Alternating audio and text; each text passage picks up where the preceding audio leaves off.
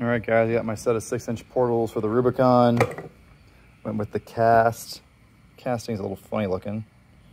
Um, whatever, sure it's fine. Um, why did I go with cast and why did I go with six inch? Um, well, I've always ran cast. I never broke one. Um, never had any housing issues, right? I've had shaft issues with my Gen 1s. I had leaks, but my Gen 3s, my 4 inches and my 8 inches were pretty good.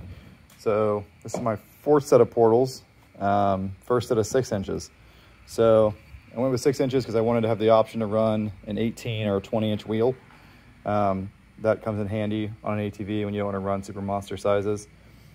Uh, and I'm swapping the input gears to make them work on a Rubicon.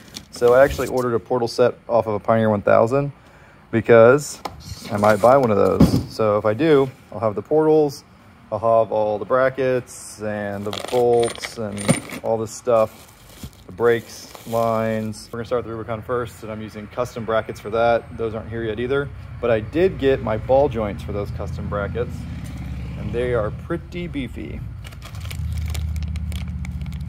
These are the Dirt Mafias or something, but they're, you know, Keller style screw-in ball joints for a Honda, which is amazing. Um, I don't think you can run these on just any Honda. Uh, I think the reason I can run them is because I'm using his aftermarket plates. So pretty cool. All right, ladies and gentlemen, we got a few more parts in, all the shiny stuff on the bench here. Let me walk you through what we're doing. So we took one of our six inch Pioneer 1000 boxes and opened it up. This is what it looks like inside. Um, big beefy gears. The Gen 3s have these neat bearings with a race that sits on the idler gear. Um, pretty sealed, pretty beefy. Giant shafts, absolutely giant. It was kind of hard to open up this box. I found the best way to do it was to pick it up from the cover with two pairs of pliers and just tap it and it opened up. But um, this gear is a little bit of a press fit into both sides of the case bearings.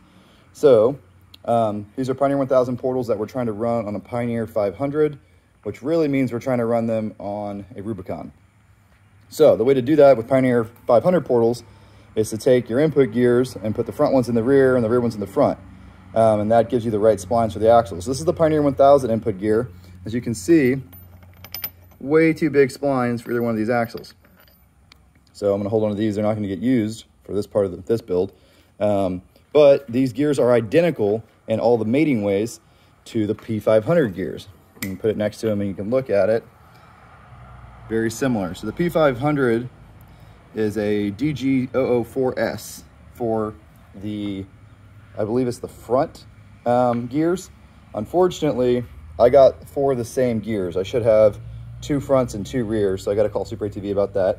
Um, not a huge deal because I have time, I'm not really waiting on it. This is why you inventory your parts as soon as you get them and you do fit checks. Same shit I do at work all the time. As soon as you get a part, you check it. The sooner you know you have the wrong part, the better. So I got to get on the phone with people today and get, get the two right gears coming because I think I have four of the same gear and that's not how it should be.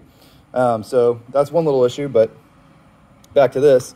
So this is the input gear, meaning the top gear meaning the drive gear. This is where your axle plugs into. Your axle turns this gear, which turns the idler gear, which turns the big gear. Now these are 45% reduction boxes.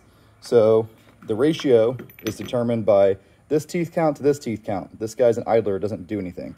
So if you divide this teeth by this teeth, you get your true ratio. So here's a good picture with all the teeth in it. If you want to go ahead and calculate that yourself, I think it's like 1.82, so it's like an 82% reduction. Um, there's a shaft, very big and pretty. Um, one thing I noticed that was kind of cool, if you look on this side of the box, it's stamped 45 right there, for 45% I assume. Um, yeah, so let me throw one of the Pioneer 500 gears in here and show you what I'm talking about. So um, the gear goes with the spline side down. And that actually drops in there a lot easier than this one does for whatever reason. Go ahead and put in this shaft to center the driven gear, big boy. All right. And then your axle spins this, and there's your reduction. Pretty good teeth mate, not a whole lot of slop. This gear's offset, right, because it's a six inch portal. Never had sixes, but wanted to try them. Uh, there's a good bit of space around here to hold oil. Nice drain plug at the very bottom to get all the gunk out. Uh, there's the gasket. The gaskets do look pretty good. They're pretty improved. Um, yeah, pretty, pretty solid looking.